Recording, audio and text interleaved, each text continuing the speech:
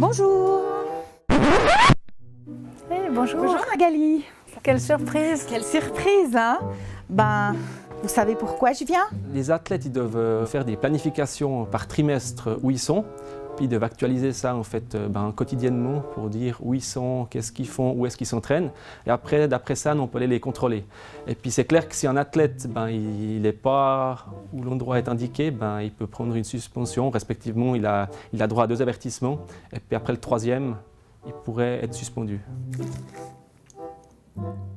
Vous choisissez un petit gobelet. Vous vérifiez qu'il est bien fermé, qu'il n'y a pas de défaut. Ce qui est important, c'est que l'athlète, d'abord, il est convoqué pour un contrôle antidopage, donc on l'avertit.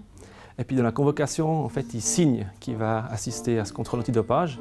Et à partir de ce moment-là, le contrôleur, il doit rester avec l'athlète jusqu'à la prise d'urine a pu avoir lieu. Alors, je vais vous demander de vous laver les mains sans savon. C'est important que le contrôleur, en fait, doive rester avec l'athlète et il l'a toujours au visuel.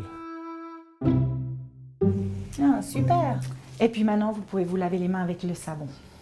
Et puis ce qui est très important, c'est que l'athlète, en fait, quand il donne euh, son urine, bah, il se libère d'une manière où on voit qu'il ne puisse pas tricher. Le Code mondial antidopage, les contrôles 24 sur 24 euh, pourraient être tolérés.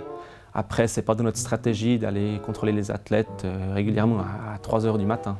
Ce n'est pas forcément l'objectif. Mais on essaye de varier euh, les heures, on essaie de varier euh, aussi le week-end, d'aller une fois euh, un dimanche à midi, quand l'athlète ne s'y attend peut-être pas du tout. Donc on essaie vraiment de varier pour aussi donner la chance en fait, à l'athlète de pouvoir montrer qu'il est propre. Donc je vais vous demander de choisir un kit. Ça fait partie du protocole. Les athlètes, ils savent qu'ils bah, sont soumis au contrôle antidopage et puis qu'on peut arriver chez eux bah, de bonne heure le matin jusqu'à tard le soir. Et puis non, en général, on est très bien reçu, mais on rentre un petit peu dans l'intimité des, athlètes. Vous allez remplir jusqu'au petit trait d'abord l'échantillon B.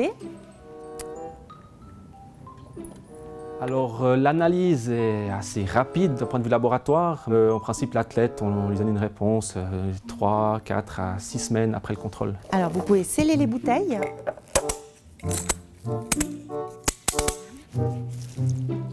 Vous pouvez les mettre dans le petit sachet. Chaque année, la liste antidopage est, elle est mise à jour en fait. une année, deux ans, il y avait eu le meldonium qui avait été ajouté en fait à la liste euh, des produits, des, substances interdites. Ça, c'est un produit avant qui était euh, toléré, qui est maintenant qui est interdite. Alors nous, c'est clair qu'on a un rôle majeur euh, avant les Jeux Olympiques, dans le sens que nos athlètes suisses, en fait, on les contrôle pour qu'on puisse partir du principe que nos athlètes suisses, ils sont propres quand ils partent aux Jeux Olympiques. Puis après les Jeux Olympiques, après, c'est le, le CIO qui est sur place, euh, qui, qui s'occupe euh, des contrôles.